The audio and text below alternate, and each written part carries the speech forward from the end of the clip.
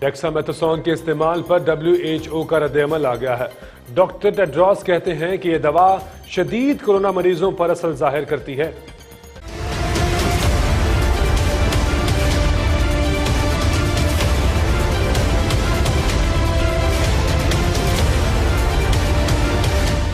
गैर मुल्की खबरसा इदारे की रिपोर्ट के मुताबिक डब्ल्यू एच ओ के सरबरा डॉक्टर टेड्रॉस ने डेक्सा मेथासोन के बरतानिया से इब्तदाई आजमाइश के मस्बत नतज को खुशाइन करार देते हुए कहा है कि ऑक्सीजन वेंटिलेटर्स के मरीजों में दवा से मौत की शरह को कम करते हुए देखा गया है।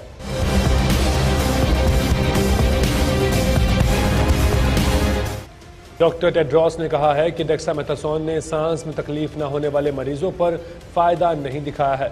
दवा को सिर्फ़ करीबी क्लिनिकल निगरानी में इस्तेमाल किया जाना चाहिए। दूसरी जानब माहरीन ने कहा है कि डेक्सामेथासोन उन्नीस सौ सत्तावन में ईजाद हुई है और 1960 में इसका इस्तेमाल शुरू किया गया है। डेक्सामेथासोन डब्ल्यू एच ओ की ज़रूरी अद्वियात की लिस्ट में भी शामिल है।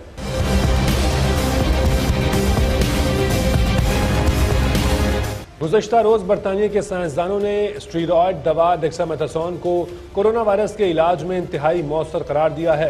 बरतानवी साइंसदान प्रोफेसर पीटर हार्बर ने कहा है कि ये अब तक की पहली दवा है जिसने कोरोना में अमवाद को कम करके दिखाया है और ये एक अहम और मस्बत पेशरफ है। तहकीकी टीम के सरबरा मार्टिन लेंड्रे ने कहा है कि हमारे लिए ये बहुत अहम पेशरफ है।